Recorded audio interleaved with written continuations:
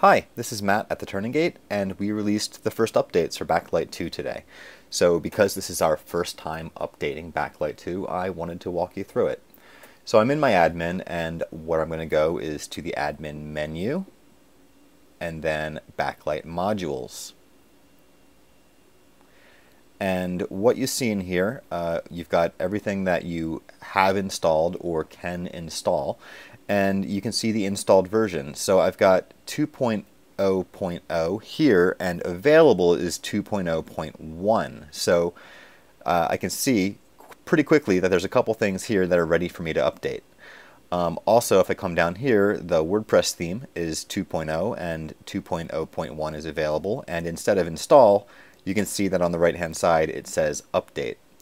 If you want to see what's new in a release, then under the name of the product, you'll see the link for the change logs. You can click that and it brings up what's changed in this update. So to actually install the update, it's really easy. We just click Update All, Update, let the browser uh, spin for a minute while it fetches that. And uh, Backlight 2 is now up to date. Let me come down here and I'll also update my WordPress theme.